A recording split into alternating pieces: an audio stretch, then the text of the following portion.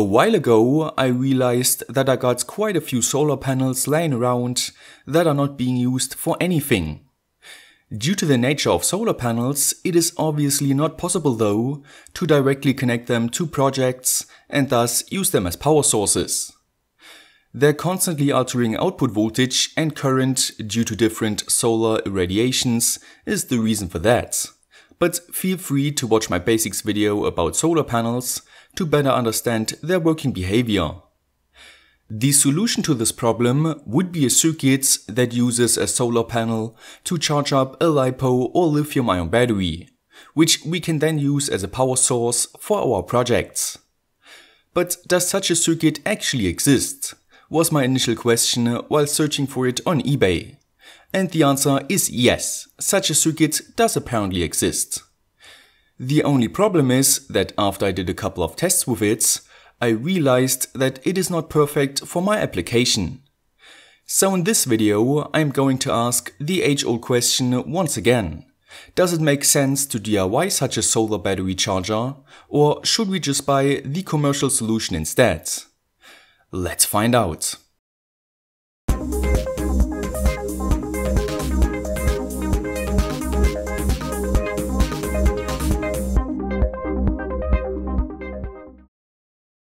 This video is sponsored by JLC PCB, whose service I utilized to order 10 PCBs for this project.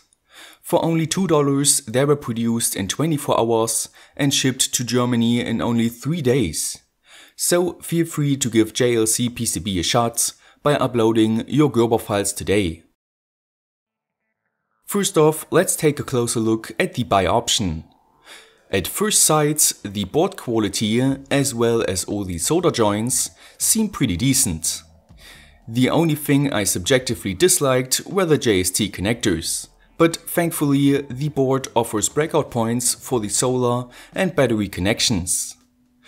The main IC of the board is a CN3065 constant current, constant voltage linear charger for single cell lithium ion and lithium polymer batteries. Say that three times fast. After inspecting its pin description, as well as its detailed description in the datasheets, it seemed like a suitable choice for small solar panels that deliver 4.4 volts to 6 volts. Thankfully, I got such solar panels laying around, like this 110 by 60 mm one that can do 6 volts and up to 1 watt.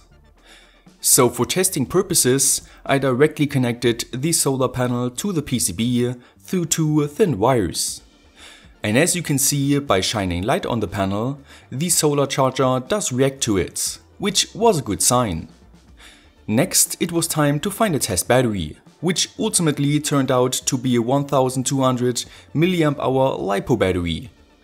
But right before I was done soldering it to the PCB, I realized that the solar charger IC only features an overvoltage protection during charging, but misses an over-discharge protection and more importantly a short circuit protection.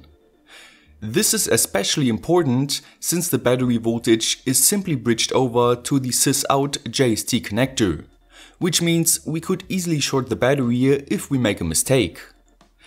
So to protect the LiPo for now, I added an additional protection circuit to it before hooking it up to the solar charger.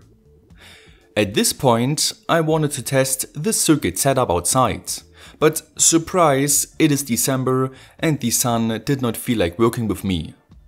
As an alternative, I had to create my own sun with an LED panel.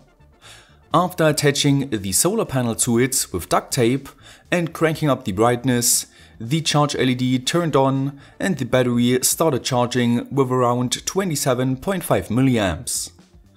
After then measuring the input current at the solar panel sides, as well as its voltage and the battery charge voltage, I came to the conclusion that I was dealing with an efficiency of around 70% at the time.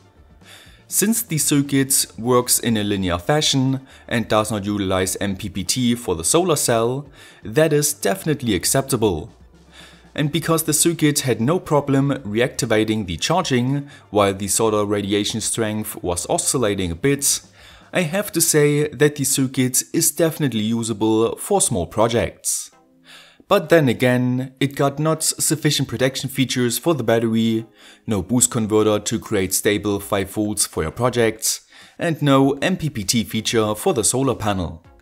So naturally, those were the goals for my DIY solution, which is why I visited the website of Consonance Electronic Next, which are in fact the manufacturers of the CN3065 IC. There I found out that they got a whole section with solar panel powered charger ICs. After comparing all of those, I decided on the CN3791, which works with a single cell as well, but uses a switching technique, which should guarantee a higher efficiency at higher input voltages.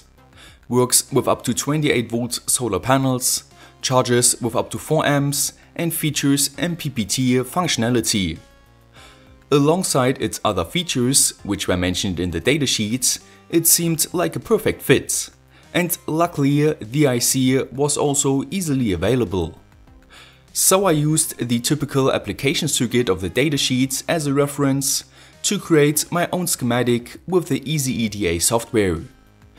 The datasheet also provided guidelines for the capacitor selection as well as the inductor, MOSFET and diode selection which was certainly helpful while creating the schematic.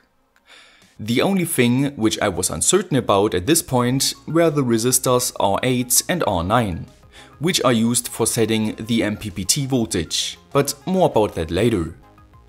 Once the solar charge IC schematic part was complete, I simply opened up my old LiPo Charge Protect Boost project and added the protect slash boost components to my new solar charger schematic and through this simple addition I added an overcharge, overdischarge and overcurrent protection, as well as a 5V boosted output, which means that all my goals for my DIY solution were fulfilled. Next, I clicked the Convert to PCB button and started arranging all the components in a logical and functional order. After then creating all the traces and turning the top and bottom layer into ground copper layer, the boards did not look half bad. So I exported the Gerber files of it and then ordered the boards for pretty cheap, just like I mentioned it earlier, from JLC PCB. Alongside I also ordered all the mandatory components for the board. And after waiting for a few days, I was not only greeted with a ton of components, but also the PCBs, which made a good first impression under the microscope. That means it was time to solder the teeny tiny components to the PCB, for which I mainly utilized a soldering iron with a very fine tip, as well as a bit of additional flux and solder. The whole process took me around 2 hours, and to my own surprise did not turn out that badly this time, at least in my opinion. Anyway, after soldering all the SMD components, I added the through-hole components. And just like that, my DIY solution was complete. But did it work? To find that out, I firstly hooked up my LiPo battery, this time though without the protection circuits. And after flipping the power switch, the output of the board delivered 5.13 volts. Perfect.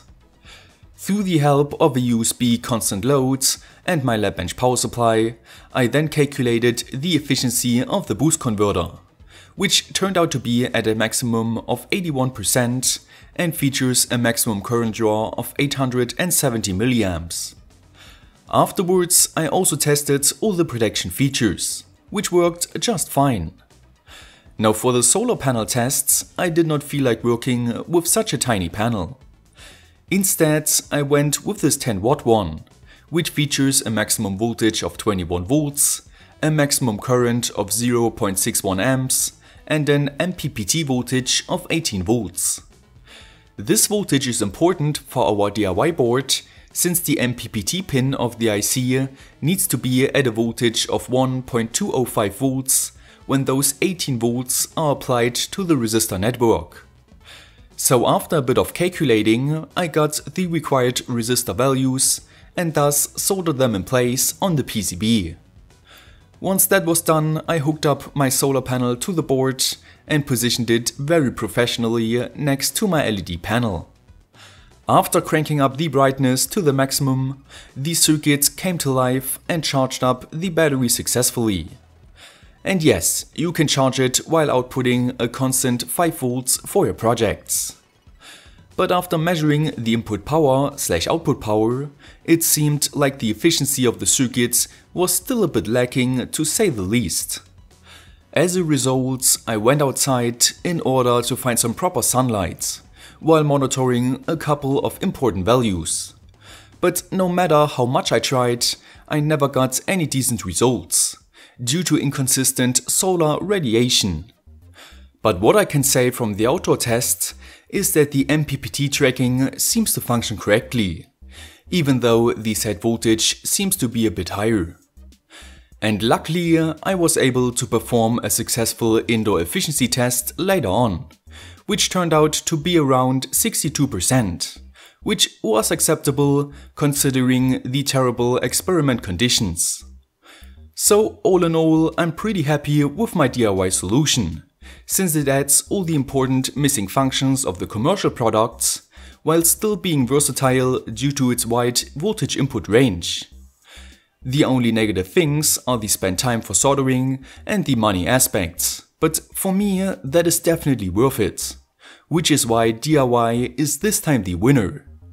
But what do you think? Let me know in the comment section below.